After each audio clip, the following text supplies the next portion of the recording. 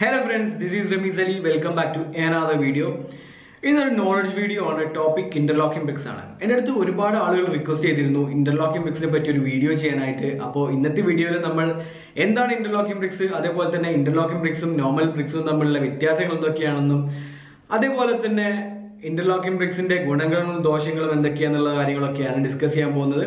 അതിന്റെ കൺസ്ട്രക്ഷൻ രീതിയും നമുക്ക് നോക്കാം. അപ്പോൾ സ്റ്റേ ട്യൂൺഡ്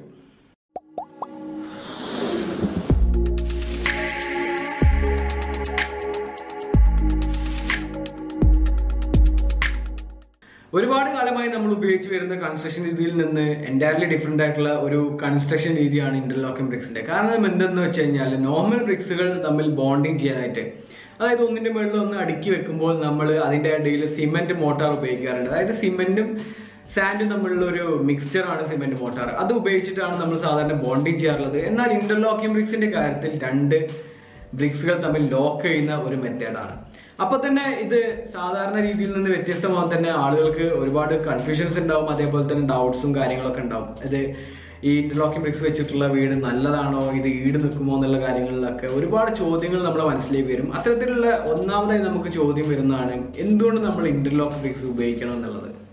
ഇന്റർലോക്ക് ബ്രിക്സിന്റെ പേര് സൂചിപ്പിക്കുന്ന പോലെ തന്നെ രണ്ട് ബ്രിക്കുകൾ അതായത് ഒന്ന് ഫീമെയിൽ പോർഷനും ഒരു മെയിൽ പോർഷനും തമ്മിൽ ലോക്ക് ചെയ്യുന്ന മെത്തേഡാണ് ഇതിന്റെ കൺസ്ട്രക്ഷൻ രീതി എന്ന് പറയുന്നത്. എന്നാൽ നോർമൽ ബ്രിക്സ് ബോണ്ടിങ് ചെയ്യാനായിട്ട് നമ്മൾ ഉപയോഗിക്കുന്നത് സിമെന്റ് മോട്ടറാണ് അതായത് സിമെന്റും സാൻഡും തമ്മിലുള്ള ഒരു മിക്സ്ചർ ആണ് അവിടെ യൂസ് ചെയ്യുന്നത്. എന്നാൽ ഇന്റർലോക്ക് ബ്രിക്കിന്റെ കൺസ്ട്രക്ഷന് അത് ആവശ്യമില്ലാത്തത് കൊണ്ട് തന്നെ നമുക്ക് ചെലവ് ചുരുക്കാൻ സാധിക്കുന്നത് അതായത് സിമെന്റും മണലും നമുക്ക് വളരെയധികം ആവശ്യകത കുറയുന്നതുകൊണ്ട് തന്നെ അതിൽ നമുക്ക് ഒരുപാട് ക്യാഷ് സേവ് ചെയ്യാൻ സാധിക്കുന്നു എന്നുള്ളതാണ്. രണ്ടാമത്തെ കാര്യം എന്ന് പറയുന്നത് ഇന്റർലോക്ക് ബ്രിക്സ് വെച്ച് ഉണ്ടാക്കുന്ന വീടുകളുടെ വാൾസ് വേണമെങ്കിൽ പ്ലാസ്റ്ററിങ് ചെയ്താൽ മതി. ഇല്ല എന്നുണ്ടെങ്കിൽ നമുക്ക് പുട്ടി വെച്ച് അഡ്ജസ്റ്റ് ചെയ്യാം. അപ്പോൾ അവിടെ നമുക്ക് ഒരുപാട് ക്യാഷ് സേവ് ചെയ്യാൻ സാധിക്കുന്നു. അപ്പോൾ താരതമ്യേന ഇന്റർലോക്ക് ബ്രിക്ക് വെച്ച് ഉണ്ടാക്കുന്ന വീടുകൾക്ക് ചെലവ് ചുരുക്കാൻ സാധിക്കുന്നതിനാൽ ഇതൊരു ചെലവ് ചുരുങ്ങിയ കൺസ്ട്രക്ഷൻ രീതിയായിട്ട് നമുക്ക് കണക്കാക്കാവുന്നതാണ്.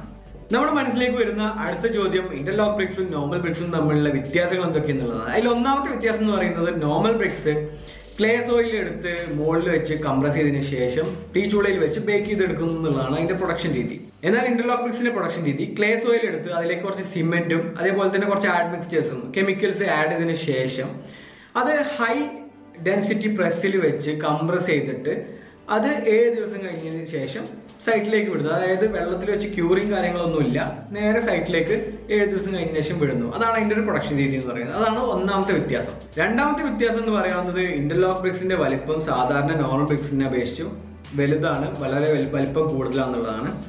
മൂന്നാമത്തെ വ്യത്യാസം പറയാവുന്നത് ഇന്റർലോക്ക് ബ്രിക്സിന്റെ വെയിറ്റ് അതേ വോളിയത്തിലുള്ള നോർമൽ ബ്രിക്സിനെ അപേക്ഷിച്ച് കൂടുതലാണെന്നുള്ളതാണ്. അടുത്തായിട്ട് നമ്മൾ മനസ്സിലേക്ക് വരുന്ന ചോദ്യം ഇന്റർലോക്ക് ബ്രിക്സിന്റെ ഗുണങ്ങൾ എന്തൊക്കെയാണെന്നുള്ളതാണ്. ഇന്റർലോക്ക് ബ്രിക്സിൽ വെച്ചിട്ടുള്ള കൺസ്ട്രക്ഷൻ രീതി നോക്കുകയാണെന്നുണ്ടെങ്കിൽ നമ്മൾ നേരത്തെ പറഞ്ഞ പോലെ തന്നെ താരതമ്യേന ചെലവ് കുറവാണ്. അതായത് മണലിന്റെയും സിമെന്റിന്റെയും ഉപയോഗം കുറയ്ക്കാൻ സാധിക്കുന്ന ചെലവ് കുറയുന്നു. രണ്ടാമത്തെ കാര്യം ഇന്റർലോക്ക് ബ്രിക്സ് വെച്ച് ചെയ്ത വീടുകളുടെ അകത്ത് ചൂട് കുറയുന്നു എന്നുള്ളതാണ്. കാരണം ഈ വാൾസ് തെർമലി ഐസൊലേറ്റഡ് ആണ്. മൂന്നാമത്തെ കാര്യം എന്തെന്ന് വെച്ച് കഴിഞ്ഞാൽ ഇന്റർലോക്ക് ബ്രിക്സ് പ്ലാസ്റ്റിക് ചെയ്യേണ്ട ആവശ്യമില്ല.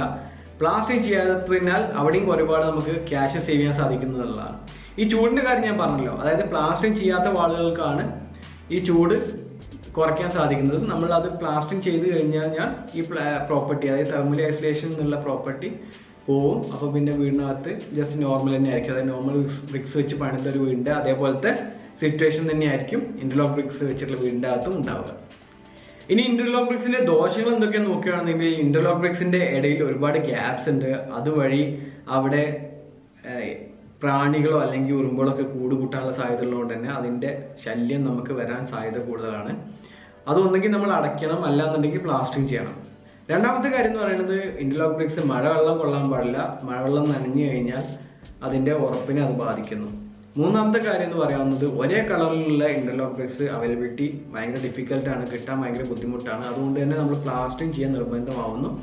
അതുകൊണ്ട് തന്നെ പ്ലാസ്റ്റിക് ചെയ്യാത്ത വഴി നമുക്ക് കിട്ടുന്ന ആ ഒരു ലാഭം നമുക്ക് ശരിക്ക് അച്ചീവ് ചെയ്യാൻ പറ്റുന്നുള്ളതെന്നുള്ളതാണ് യഥാർത്ഥത്തിൽ നടക്കുന്നത്. നാലാമത്തെ കാര്യം എന്ന് പറയാവുന്നത് ഇന്റർലോക്ക് ബ്രിക്സ് വെച്ചിട്ടുള്ള വീടുകൾ രണ്ട് നിലയിൽ മാത്രമേ ഉണ്ടാക്കാൻ സാധിക്കുന്നുള്ളൂ എന്നുള്ളതാണ്. അതായത് ലോഡ് ബെയറിംഗ് വാൾസ് വെച്ചിട്ടുള്ള വീടുകൾ. അതായത് നോർമൽ വാൾസിന്റെ മുകളിൽ സ്ലാബ് ചെയ്യുന്ന രീതിയിലുള്ള നമ്മുടെ സാധാരണ കൺസ്ട്രക്ഷൻ രീതിയിലുള്ള വീടുകൾ ചെയ്യുമ്പോൾ രണ്ട് നിലയെ പറ്റുന്നുള്ളൂ. എന്നാൽ നോർമൽ ബ്രിക്സ് വെച്ചിട്ടുള്ള വീടുകൾ ശരിക്കും നാല് നില വരെ പോസിബിൾ ആണ് ഉണ്ടാക്കാൻ സാധിക്കുന്നുള്ളതാണ്. അല്ലാന്നുണ്ടെങ്കിൽ നമ്മൾ ഫ്രെയിംഡ് സ്ട്രക്ചറിലേക്ക് പോകണം അതായത് പില്ലേഴ്സും ബീംസ് ഒക്കെ വെച്ചിട്ടുള്ള കൺസ്ട്രക്ഷൻ രീതി നമ്മൾ കൊമേഴ്ഷ്യൽ ബിൽഡിംഗ്സ് ഒക്കെ ചെയ്യുന്ന പോലത്തെ കൺസ്ട്രക്ഷൻ രീതി എത്ര നില വേണമെങ്കിലും ചെയ്യാൻ സാധിക്കും. എന്നാൽ ലോഡ് ബെയറിംഗ് ആയിട്ടുള്ള വീടുകൾക്ക് രണ്ട് നില മാത്രമേ പോസിബിൾ ആയിട്ടുള്ളൂ എന്നുള്ളതാണ് ഇതിന്റെ വേറൊരു ദോഷമായിട്ട് പറയാവുന്നത് ഇനി ഇന്റർലോക്കിംഗ് ബ്രിക്സ് വെച്ചിട്ടുള്ള കൺസ്ട്രക്ഷൻ രീതി എങ്ങനെയാണെന്ന് നോക്കാനായിട്ട് നമുക്കൊരു ആക്ച്വൽ സൈറ്റിലേക്ക് പോവാം. എന്നിട്ട് നേരിട്ട് തന്നെ കാര്യങ്ങൾ ഞാൻ നിങ്ങൾക്ക് കാണിച്ചെന്ന് പറഞ്ഞു തരാം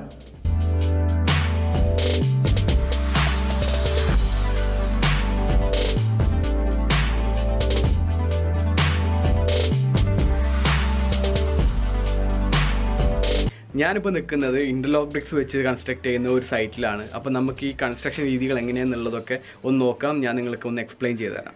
ഇതാണ് ഒരു ഇന്റർലോക്ക് ബ്രിക്ക് ഇന്റർലോക്ക് ബ്രിക്കിന്റെ ഒരു മെയിൽ പോർഷൻ എന്ന് പറയുന്നത് മെയിൽ ഇതാണ്. അതിന്റെ ഒരു ഫീമെയിൽ പോർഷൻ എന്ന് പറയുന്നത് ഇതും. ഇത് ഒന്നിന്റെ മുകളിൽ ഒന്ന് വെച്ചിട്ടാണ് നമുക്ക് ഇത് ലോക്ക് ചെയ്യാൻ സാധിക്കുന്നത്. ഇന്റർലോക്ക് വീടിന്റെ ഫൗണ്ടേഷൻ നോർമൽ വീടിന്റെ ഫൗണ്ടേഷൻ പോലെ തന്നെയാണ്.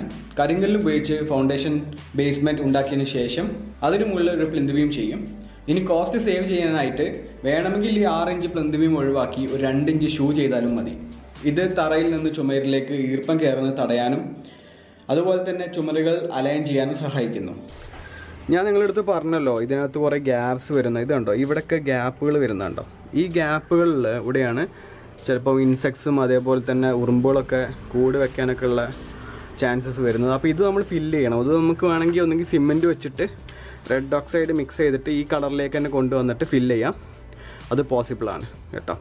ചുമരുകളിൽ മഴച്ചീറ്റൽ അടിക്കാതിരിക്കാൻ സൺഷെയ്ഡ് ഇതുപോലെ എല്ലാ ഭാഗത്തും ചെയ്യുന്നത് നല്ലതായിരിക്കും. അല്ലെങ്കിൽ റൂഫ് സ്ലാബ് പ്രൊഷൻ നൽകിയാലും മതി. ലിൻഡൽ ഒരു ഇഞ്ച് വീതി കുറച്ച് വാർക്കുകയാണെങ്കിൽ ഇലക്ട്രിക് പൈപ്പ് ലിൻഡലിനോട് ചേർത്ത് കൊണ്ടുപോകാൻ നമുക്ക് സാധിക്കുന്നു.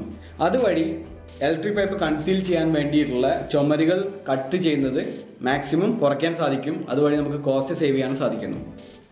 ഈ ഒരു ഗ്യാപ്സ് കണ്ടോ ഇവിടെ? ഈ ലിൻഡലിന്റെ മുകളിലുള്ള ഇവിടെ ഒരു ചെറിയ ഗ്യാപ്പ് ഉണ്ട്. ഈ ഗ്യാപ്സിലൂടെ നമുക്ക് പൈപ്പുകൾ കൊണ്ടുപോകാം അതായത് ഇലക്ട്രിക്കലിന്റെ പൈപ്പ് കൊണ്ടുപോയി കഴിഞ്ഞ് കഴിഞ്ഞാൽ നമുക്ക് ഇതിന്റെ മുകളിലുള്ള ഈ ബ്ലോക്സിന്റെ മുകളിലുള്ള പൊളി ഒഴിവാക്കാൻ സാധിക്കുന്നതിനാൽ ഇതിന്റെ സ്ട്രെങ്ത്തിനെ ബാധിക്കില്ല. ഇനി നിങ്ങളുടെ മനസ്സിൽ അവശേഷിക്കുന്ന അവസാന ചോദ്യം ഇതിൽ ഏത് ഉപയോഗിക്കും? നോർമൽ ബ്രിക്ക് ഉപയോഗിക്കണോ അല്ലെങ്കിൽ ഇന്റർലോക്ക് ബ്രിക്ക് ഉപയോഗിക്കണോ എന്നുള്ളതാണ്. എനിക്ക് പറയാനുള്ളത് ചെലവൊരു പ്രശ്നമല്ല. അതായത് സ്ട്രിക്റ്റ് ബഡ്ജറ്റ് ഒന്നും അല്ല വലിയ പ്രശ്നങ്ങളൊന്നും ഇല്ലാത്ത ആളുകൾക്ക് നോൺ ബ്രിക്കിൽ തന്നെ പോവാം.